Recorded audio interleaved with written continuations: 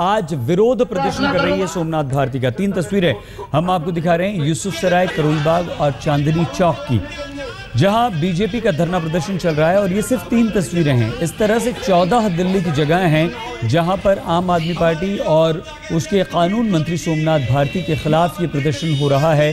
सोमनाथ भारती के इस्तीफे की मांग पर अड़ी हुई है बीजेपी और इस्तीफे की मांग को लेकर ज़बरदस्त विरोध प्रदर्शन शुरू हो चुका है।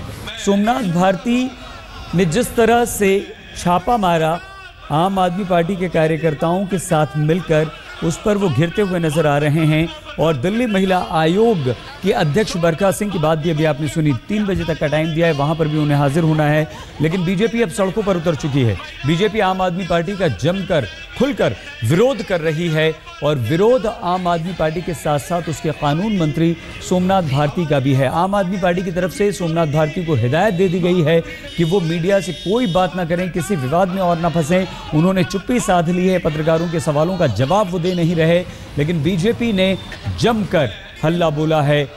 चौदह जगहों पर आज बीजेपी का प्रदर्शन हो रहा है। दिल्ली में जगह जगह बीजेपी के कार्यकर्ता बाहर निकले हैं।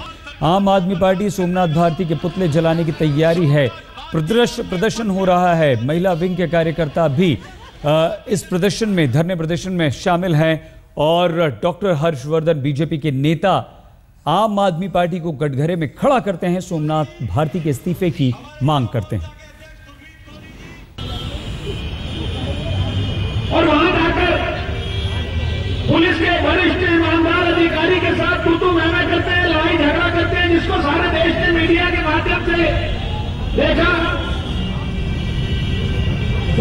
अधिकारी को जबरन बिना किसी कानूनी पुख्ता सबूत के, बिना किसी वारंट के, बिना किसी शख्स के अधिकार के देश का कानून मंत्री, देश के सीनियर पुलिस ऑफिसर को ज़बरदस्ती आदेश देने की कोशिश कर रहा है। Police officer